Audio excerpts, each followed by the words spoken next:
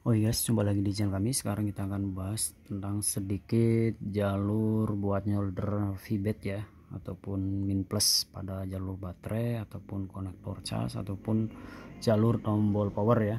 Jadi kalau buat belajar pakai handphone jadul ya.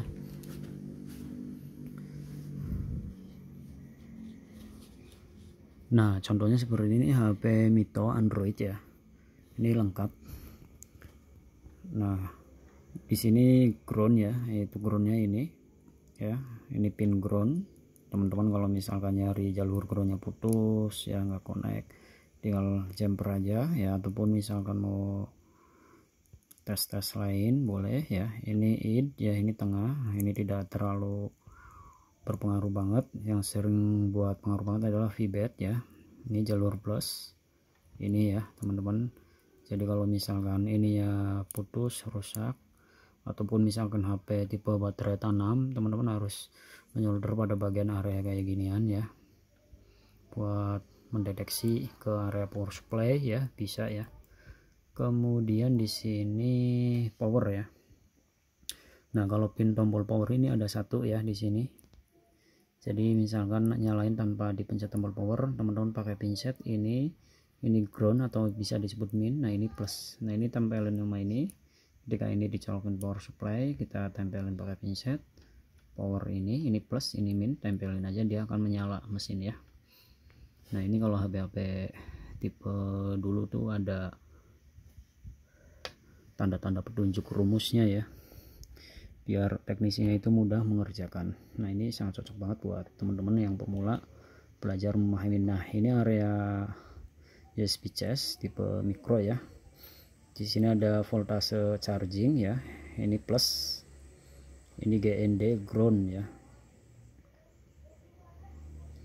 Di sini ada DP SCL ya. Nah di sini juga ada lagi.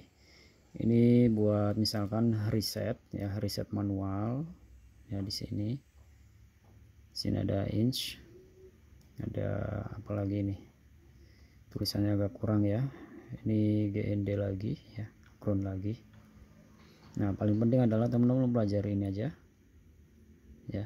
Jadi mata pin USB charging itu ada 5 nah yang paling penting adalah biasanya ini. Yang sering bermasalah ini jalur voltase charging ya sama ground dicek.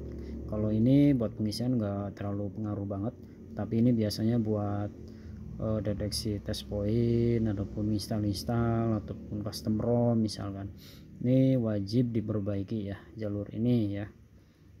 Tapi kalau untuk HP-HP terbaru itu tidak ada ya teman-teman. Kayak gini nih buat tes-tes poin jalur-jalur itu udah nggak ada dihilangin jadi udah lumayan pusing harus menggunakan skematik jalur ya. Nah ini VBAT ya. VBAT juga ada yang ada ada yang enggak ya untuk HP-HP zaman sekarang. Kalau ini zaman dulu masih ada ya ini power juga ya makanya agak puyeng kalau mengerjakan handphone yang terbaru-terbaru ya. Jalur-jalurnya skematiknya harus benar-benar mencari. Nah di sini juga ada wifi ya. Ini ada wifi ini GPS kalau GPS error bisa oper-oper jalur GPS ini. Siapa tahu kotor ataupun kendor ataupun lepas ataupun jalur putus ya ataupun wifi ya. Ini jalur same tidak terlalu. Nah ini LCD ya. Kalau LCD nya kadang ngeblank kadang normal. Nah biasanya soket LCD nya kotor atau fleksibel pinnya kotor tinggal diolesin minyak kayu putih ya. Oke yang paling penting adalah bagian ini ya. Sama ini teman-teman pahamin kalau di HP lama itu ada ya. Ada tulisannya jadi enak. Makanya teman-teman kalau nonton YouTube kalau misalkan yang diperhatikan adalah handphone yang terbaru itu susah banget. Mana VBAT mana ground ya. Ujung-ujungnya bisa konslet kalau nggak paham ya jadi kalau untuk belajar teknisi handphone itu benar-benar harus fokus serius. Mana tipe mesin lama mana tipe mesin baru. Jadi kita itu tidak kaget tidak bingung. Jadi nggak ngasal-ngasal ngerjain. Oh ini HP lama ini HP baru. Nah kalau HP baru berarti harus ekstra mikir gitu ya. Kalau HP lama mah udah kelihatan semua gitu kan.